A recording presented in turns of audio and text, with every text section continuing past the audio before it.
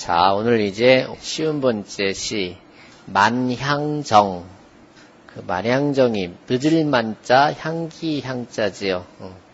만향정에서 송강 정철 선생의 오늘 차원에서 썼다고 해요. 음. 음, 김육 선생의 시죠. 그 김육 선생의 밑에 좀 정리를 해놨는데요. 그 조선 중기 때 문신입니다. 음. 한자를 한번 읽어보지요. 풀을 정, 풀을 청, 봄춘, 본춘, 석삼, 석삼, 달월, 달월, 때시, 때시, 안이불, 안이불, 귀할 귀, 귀할 귀, 꽃화, 꽃화, 같을여, 들려, 바다해, 바다해, 사랑에, 사랑해, 이차, 이차, 이철, 바람풍, 바람풍, 서리상, 서리상, 속중, 속중, 향기형, 향기형, 향기형, 향기향, 안일미, 일찍증, 일찍증, 고칠개. 네, 한번 읽어보세요. 청춘 3월 시엔, 청춘 3월 시엔, 청춘 3월 시엔, 불귀화 여해라. 불기, 애차 풍상 중에 형향 미증계를. 형향 미증계를 청향 미증대를, 네 해석을 한번 해보시지요. 음. 뒤에 두 글자씩을 먼저 한번 해석해 보세요. 월시 어떻게 할까? 네, 때는 때인데 달 때는 때. 오 잘했어요. 여해는 그럼 어떻게 해석할까요? 바다와 같다. 음. 상중은 설이 속에 설이 내리는 속에 증계 이럴 때 증자는 일찍이 즉 부사로 쓰여서요. 일찍이 고쳤다. 음. 앞에 한자를 더 붙여서요. 3월시. 3월 3월의 때에는 즉 그죠?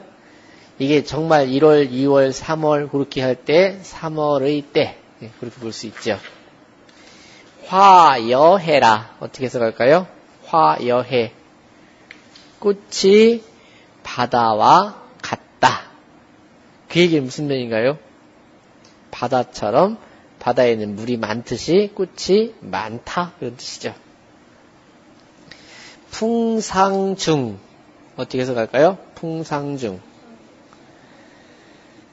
바람과 서리 속에 미증계 일찍 증자지요? 일찍이 미개. 그 말이죠? 어, 고치지 않았다. 근데 실은 일찍부터 지금까지 아직 고치지 않았다. 그렇게 보는 거예요. 앞에 한자를 더 붙여보세요. 춘 3월시 봄 3월의 때엔. 그렇죠. 귀화 여해라. 어떻게 할까요? 꽃이 귀한 것이 바다와 같다. 차 풍상 중 이 바람과 서리 속에 향 미증계 어떻게 할까요? 향기는 일찍이 고치지 않았네 이렇게 되죠. 한자를 더 붙여보세요.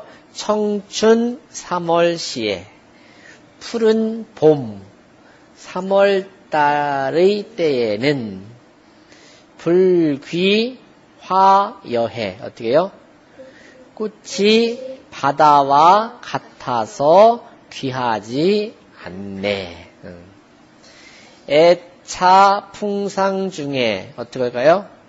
이 바람과 서리 속에서 사랑함에 형향 미증계를 향기와 향기를 일찍이 고치지 않았네. 근데 뭔지 해- 해석을 해보니까 좀 서- 개운하지가 않은 부분이 있지요? 어디? 세 번째 구절과 네 번째 구절은 전체의 동사가 사랑 애자지요. 그럼 해석을 다시 해보세요. 애, 차, 풍상 중에 형향, 미증계를 이렇게 세차게 부는 바람과 서리 속에서도 향기가 일찍이 고치지 않았기 때문에 난 그것을 사랑한다. 그런 말이죠. 음, 그렇게 보시면 이제 해석이 다 될 거예요. 한번 보세요. 청춘 3월 시엔 불기 화여해라. 이 파란 이 푸르스름 이제 햇빛 저, 사실은 푸를 청자를 쓴다고 하고 봄춘자를 쓰는 이유는 그 전 계절 겨울 겨울철 모든 나뭇잎들이 피어나기 전에는 어떻게 보면 우중충하고 컴컴하고 그렇잖아요. 그러다가 새순이 파랗게 돋아나는 봄 3월 달쯤에는 여기 말이 3월이지 음력 3월쯤 되면은 다 실록이 푸르를 때예요. 음. 불귀화 불귀화 이렇게 붙여야지요. 불귀화 아니 불귀화여 해라. 꽃이 바다처럼 많아가지고 귀하지 않다네. 애차 풍상 중에 형향 미증계를 2차자지요.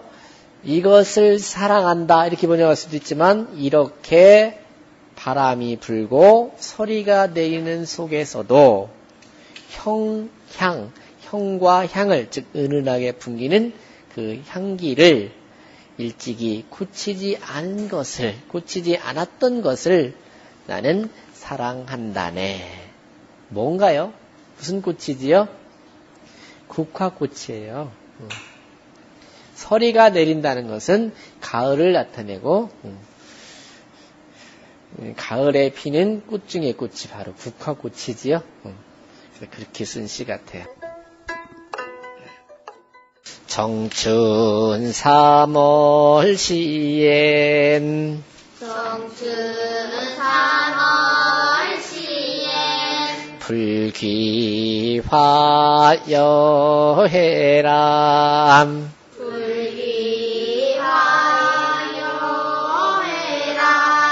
애차 풍상 중에.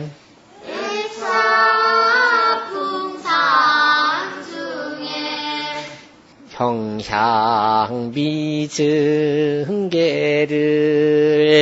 경향 미증계를.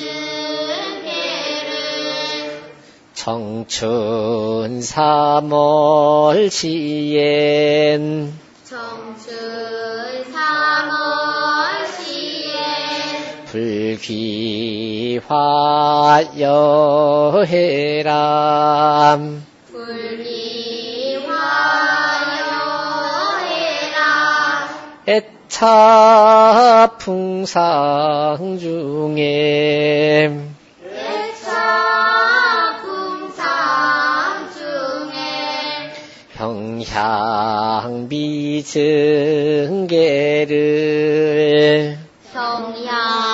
等你